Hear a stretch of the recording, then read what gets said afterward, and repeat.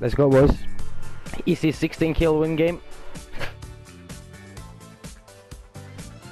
Ah, yeah, yeah.